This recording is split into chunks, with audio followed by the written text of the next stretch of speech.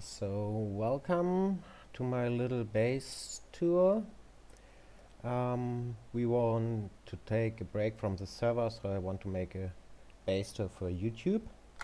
This is a server with two people and four and a half months of playing this pack. The pack is Fire in the Pipe, it's 1.7.10 modded Minecraft. Um, it's totally in survival so no cheating except from two bugs and we had to reset the wipe reset the server two times because we had bugs. Um, the pack itself it's fire in the pipe 2 from Kehaan. Uh, he makes also farming valley so pretty uh, noticeable person and it's everything is really hard and it's based around GregTech. Okay, let's see. We will start in this corner, that was our starting. That's the weird looking mm, the weird looking clay here. This is pretty much historical site. Our walls were this design before we changed to the wood design. Uh, here's an entrance for a runic dungeon. We cleared that out and started from this corner expanding our base. This is the kitchen. Uh, the configs are set to eat with Spice of Life and Hunger Overhaul to eat 80 different foods, so you have always eat very different kinds of food and if you do a good kitchen you don't have a problem with that.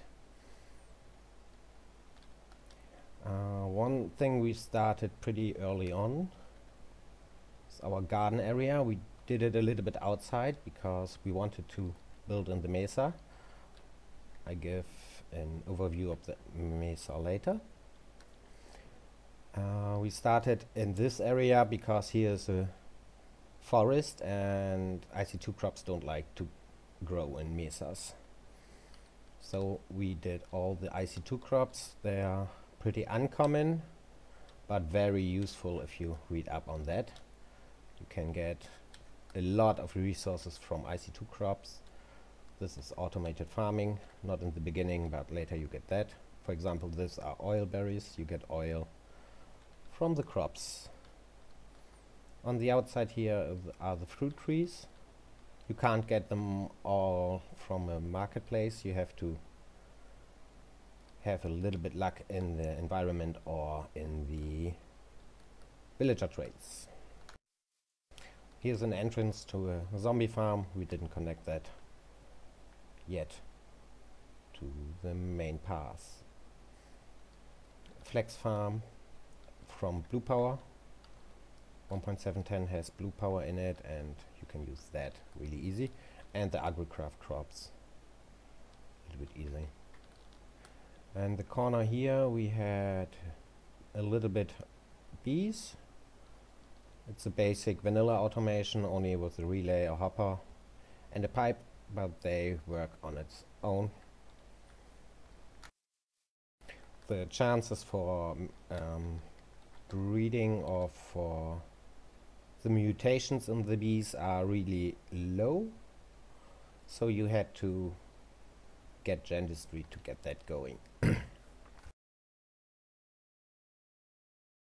this corner a little farm pretty common thing and with the uh, with the sprinklers it's really a nice nice fast growing uh, the connection to downstairs, because it's everything is automated, we'll see later when we come from the basement. Here's a little bit of the Botania setup. Pretty much the main Botania area for the Gaia fight and everything else. And in this corner is a Thaumcraft area. Both have has a downstairs we will see later. We go back in the direction of the kitchen. I will go a little bit around so you don't lose the directions. This is pretty much the base entrance. Um, space for expanding. And then from this way we are in the kitchen again. Smeltery, a little bit of a smeltery. Storage area with storage drawers. They are all connected through trims and the controller and the AE2 system uh, accesses them. So we can get it per hand or pair the uh, at the uh, with the AE2 system. This is the main machine area here for everyday use, blast furnaces, Greg machines. And we started on automating everything with AE2, implosion compressor, vacuum freezer, the normal Greg machines you need for your everyday use. A little bit of a nuclear setup, very safe, because we only needed a little bit for plutonium. On the downstairs in the same area, a lot of tanks. The chemistry in GregTech is very highly or very highly specialized, so you need a lot of things. I will go through the normal setup from the uh, that happens sometimes with the chunk borders that tank doesn't form and it seems to be empty but it isn't empty or maybe it's empty because we didn't reset last night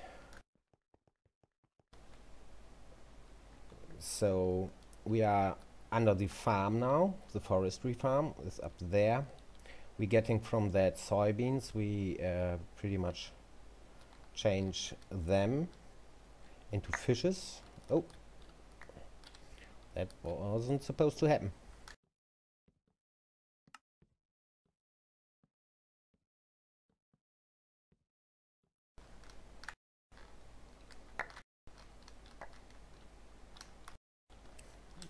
Nice thing about doing it in a survival, something like that happens. We are doing potatoes and soybeans. Soybeans get turned into fish. The fish goes to the fish goes to uh, fish oil. Fish oil goes to biodiesel. Biodiesel will be then um, cetane boosted diesel with pretty much the potatoes will get turned into biomass in the distillery, biogas and all the different chemicals to make the cetane boosted diesel. So this setup is pretty much only diesel.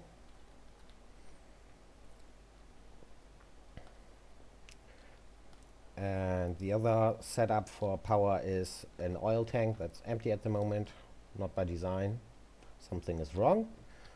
Don't care at the moment. This is a refinery splits it up into the different fuels from oil and that oil cracker and the distillery splits up the different chemicals the chemicals you need for all the different plastics for example we have polyethylene, polyvinyl, polytetra. And here are more epoxy resin, silicon rubber, and so on. So it's pretty much a refinery. This is a clean room you need for lasering wafers. This is a compactor setup. And so that's that. Our main power comes from diesel engines with a little on-off switch with basic redstone. Uh, that is the oxygen setup to get automated oxygen from glass. Another diesel engine because that's pretty much for oh, uh, UU meter amplifier. So we just got that and uh, it's only for if we're really short on something we can start that and get a little bit it's in the beginning so not yet automated that's a normal piping you need a little bit impressive. Uh, on the other hand, very complicated to get all the liquids to the different things. This is an assembly line.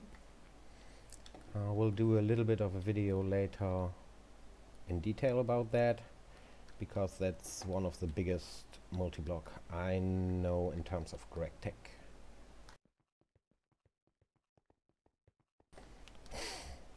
The rest of upstairs, a little bit of jail for the villagers. This is Gendustry apiaries for bees, a little bit of a bee corner. This is the downstairs of the Botania area with a, a Loonium, so we get the loot out of the flower, and that gives something we are pretty much after it. In this area, this is a little bit of a cake factory to get Botania going for the mana. So we're making cake. It's a complicated recipe in this pack. so we are getting a lot of cake from that. A little bit expanded storage. This is the downstairs from the Thaumcraft area with all the heads because we ran out of storage space. We are here at the Thaumcraft area again from the front. We are uh, Botania is on the right side, so it's pretty much like an U formed in the mesa. Over here we have an witch circle uh, with a spawner. Uh, that isn't finished yet, but pretty much we are using that to get redstone and glowstone and so on. Also we have here a self-sufficient system to get more ruby, especially ruby because late game you need chrome. You split up redstone into silicon, pyrite and ruby. Um, you get also quicksilver out of this. Out of this recipe you get quicksilver, you did a solidifier for the quicksilver balls and then uh, the energy generator makes the energy for this system itself. So this system gives you automatically Ruby and so on. So you don't have to worry about processing and you have always Ruby and Ruby you need later on for a lot of Chrome. We have a little bit of a shortcut here to get back to the chemicals. Uh, one of the last things is uh, upstairs in between in the mountain is a little bit of a uh, ramp for Galacticraft for the rocket to the moon. At the moment it's closed. We have an opening here. And you start out of the mountain. Nice little touch. That's the it's the roof. That was a lot of work. And also let's go back here so I can close the roof again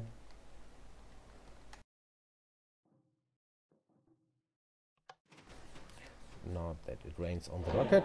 We don't want that. This is still not finished. Uh, here's a little bit of a shortcut.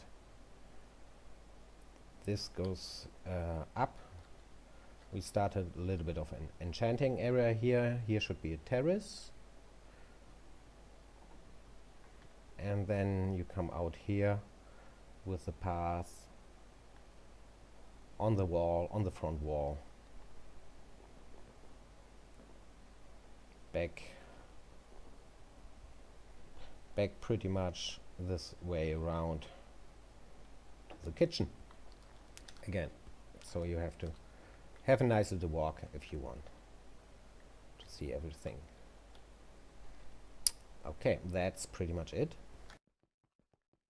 Like I said everything is built in survival not in uh, creative so that took us somewhat around four and a half months with two people Garlic and Your Eye and me.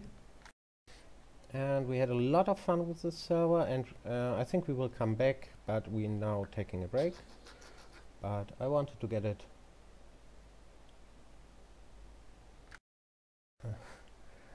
we will uh, see when we come back but that's pretty much a base tour about it and a lot of things are missing now.